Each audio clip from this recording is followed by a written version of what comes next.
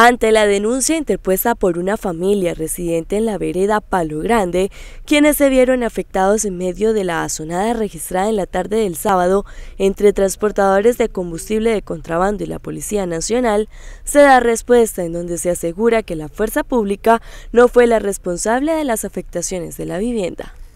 Eh, lo que se presentó fue una respuesta institucional al hurto de un vehículo.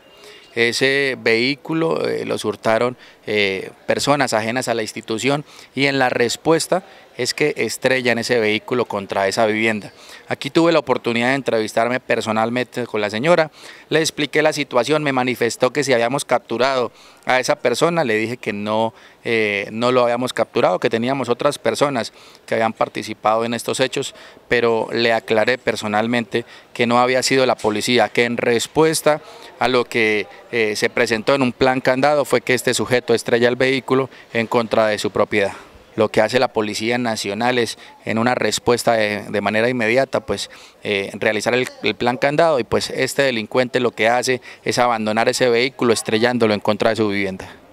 Es esta la versión entregada por la Fuerza Pública ante los hechos registrados durante la tarde del sábado, en donde se asegura que los uniformados fueron los causantes de las afectaciones realizadas en la vivienda de esta humilde familia.